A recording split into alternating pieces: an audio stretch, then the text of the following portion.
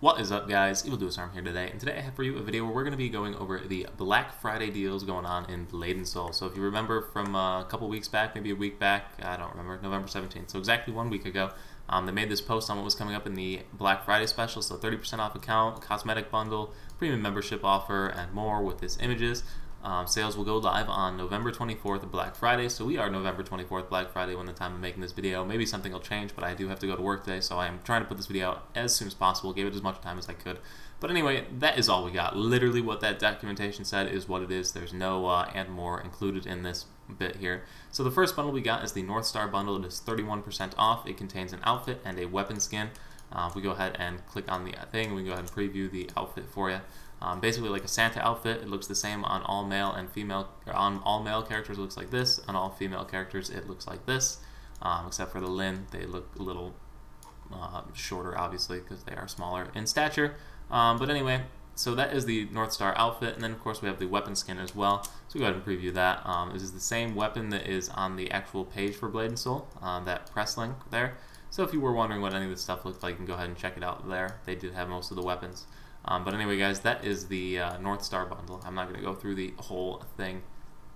Um, next up, we have the Makeover bundle. Now, this one's actually a pretty good deal if you were looking to uh, edit all of your character features, because the character alteration voucher and the uh, name change voucher, so name change voucher, $13.99, character uh, alteration voucher, where is it over here is a thousand.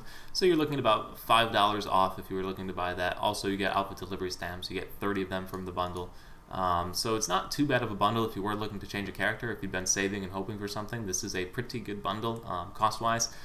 Still, though, uh, kind of expensive for something that is included in most games for uh, free of charge or for some gold. But um, yeah, if you were looking to save it, it would set you back $25 instead of about 30 US dollars um, prior to this. Plus, you get the outfit delivery stamps thrown in there. So uh, all in all, it's an okay bundle.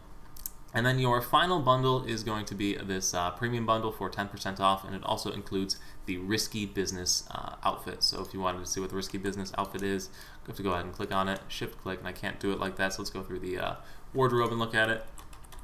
It's basically just a tie on an outfit, though, nothing too crazy. Uh, tie and shirt, and then the Yun and Jin and or the Yun and Jin, whatever the female outfit looks a little different. Um, so that's basically it though, guys. It's nothing too uh, crazy. It's just 10% off a 90-day only premium if you purchase it through the store here. Um, so that that's it, guys. That is your that are those are your uh, offers here for Black Friday from Blade and Soul. Nothing on these harvest crates. No decrease on that. Um, yeah, basically just that, guys. So anyway, guys, this is basically all you got going on here. These three items here. Uh, make your decisions wisely. Um, and yeah, so thanks for watching. I hope you found the video useful. I uh, hope it lets you make a decision on what you're going to buy. And I'll see you at the next video. Thanks for watching, guys. Peace.